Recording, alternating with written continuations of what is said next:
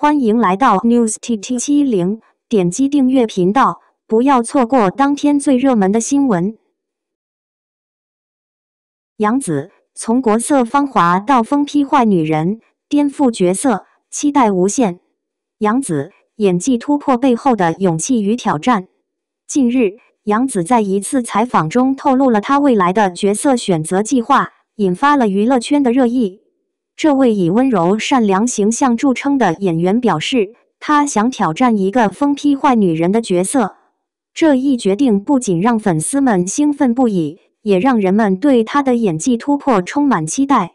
我们不得不承认杨紫在多部作品中的出色表现，无论是《家有儿女》中的小雪，还是《欢乐颂》中的邱莹莹，亦或是《香蜜沉沉烬如霜》中的锦觅。他都能够将角色的性格特点诠释得淋漓尽致，给观众留下了深刻的印象。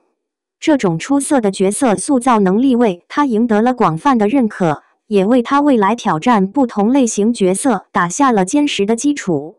然而，杨紫选择挑战疯批坏女人这一角色，无疑是对自己演技的一次大胆尝试和突破。这个角色与他以往塑造的形象大相径庭。但正是这种反差，让观众对她的表现充满了期待。想象一个温柔善良的女孩，在面临巨大的压力和挑战时，逐渐变得疯狂、冷酷，甚至不惜一切代价去追求自己的目标。这样的角色设定，不仅考验着演员的演技，更能让观众看到一个全新的杨紫。挑战这样的角色，并不是一件容易的事情。杨紫需要深入挖掘角色的内心世界，理解他的动机和行为背后的逻辑，才能将这个角色塑造的生动而立体。同时，他还需要在表演中打破自己的舒适区，尝试更多元化的表演方式，以呈现出这个角色的复杂性和多面性。这需要演员有足够的勇气和实力去挑战自我，去突破自我，去不断的尝试和探索。杨紫选择挑战疯批坏女人这一角色，不仅是对自己演技的一次挑战，也是对观众的一次挑战。她希望通过这个角色向观众展示自己的多面性和深厚的表演功底，赢得更多人的认可和喜爱。虽然这个过程充满了挑战和不确定性，但正是这种勇于尝试、不断挑战自我的精神，让杨紫成为了一个备受瞩目的演员。杨紫想要挑战疯批坏女人这一角色，给观众们带来了极大的期待。我们期待看到她在未来的作品中不断挑战自我、突破自我，为我们带来更多精彩的角色和表演。相信在杨紫的努力下，她一定能够将这个角色演绎的淋漓尽致，赢得更多观众的喜爱和认可。程毅赴山海官宣。女主未定，杨紫被曝客串，女方紧急回应不沾边。《狐妖小红娘》王权篇拍摄完成，赴山海公布男主角成毅，但女主角未定。传闻杨紫将出演，双方粉丝互斥炒作。影视作品的成功需好编剧和团队，而非炒作。女主角人选引发热议。在《狐妖小红娘》月红篇和《狐妖小红娘》竹叶篇相继结束了前期的宣传之后，《狐妖小红娘》王权篇的程毅和李一桐也已经结束了拍摄，即将和大家见面。这也是程毅除了《琉璃》和《沉香如屑》之外的另一部古偶电视剧。原本他还想着要不要换个角色，没想到他竟然宣布了另一部新的古装剧。五月七日。爱奇艺和腾讯联手拍摄的《赴山海》正式公布，同时也公布了第一张宣传图和男主角的照片。值得一提的是，《赴山海》只公布了男一女一号的男主角程毅，并没有公布任何参演的演员。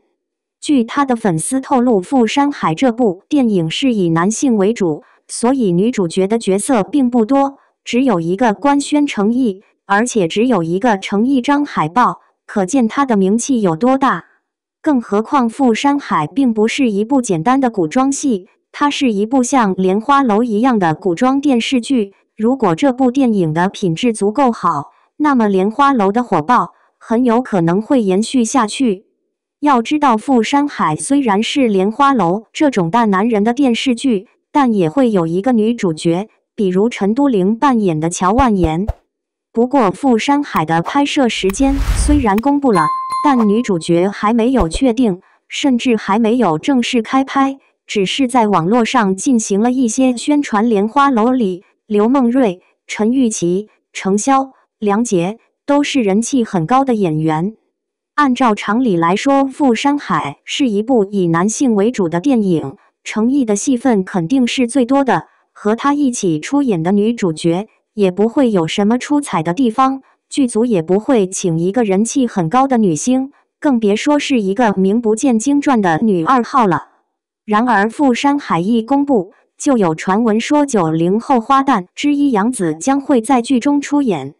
杨紫。程毅两个人都是欢瑞娱乐的明星，沉香如屑虽然不火，但也很火。两个人在里面扮演的莲花仙女颜旦和六界帝君应渊，简直就是一对璧人。虽说 CP 粉丝们彼此看不顺眼，但还是有很多 CP 粉丝想要在一起的。这也是为什么杨紫要在《富山海》中出演角色的原因，立刻引起了热烈的讨论。客观的说。杨紫凭借着《香蜜沉沉烬如霜》《亲爱的热爱的》和《长相思》，演技和口碑都达到了一个新的高度。而且最近还火了一部《承欢记》，女一号的戏份肯定会很多，想要什么就有什么。章子怡这种级别的女二号还行，想要让她在成毅的《富山海》里当配角，几乎不太可能。成毅的粉丝指责杨紫方式故意炒作。杨紫粉则认为成毅是在炒作，事情马上就要闹大了。杨紫的粉丝也赶紧出来澄清，说杨紫要在《富山海》里出演角色的传言都是骗人的，还发了一张谣言的照片，摆明了就是不想让她出名，也不愿意和这部电影扯上任何的关系。他的立场很明显，一点都不会手下留情。第三，无论是影视作品。要火起来，除了要有一个好的男女主外，还有一个好的编剧，一个好的编剧团队。与其找一些不相干的人炒作，还不如好好的把剧本选好。《富山海》的女主角，大家认为会是哪位？感谢您观看视频。如果您觉得本时事通讯有用，请不要忘记点赞、评论和订阅。祝您生活愉快，充满活力！